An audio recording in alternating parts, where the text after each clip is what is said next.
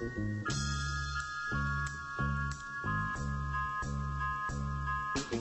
What's up YouTube? We're back again with another quick video for tips and tricks to uh, make sure you have a great family session. Uh, first one, keep the kids smiling. You see we got the dad making sure that the kid laugh. That's how we got some great images, just bringing out those smiles in that family. Tip number two, keep the family close.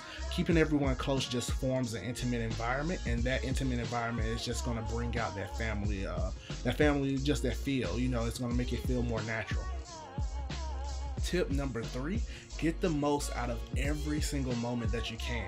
As you can kind of see uh, because we keep everybody close we turned a situation where the baby was a little bit tired uh, didn't feel like smiling to something very intimate and i think we really captured in the next couple of images.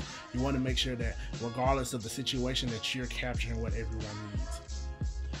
Tip number four keep everybody moving.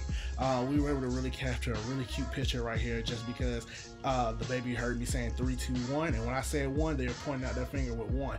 And because we were just keeping everybody moving we were able to have a really great shot tip number five don't forget about mom and dad. It's really important that you pull them to the side, make sure they get, even if it's just a couple pictures uh, to themselves. Um, it's really easy to forget about them in the height of the moment, want to keep everybody together. Maybe you feel like you haven't got enough smiling shots with the child or children, but make sure you pull them to the side just for a few minutes to capture some really cute pictures for them. Give them something to place on their wall uh, to keep uh, keep them going. I guarantee you that they're going to come back for another shoot. All right, my last tip, number seven.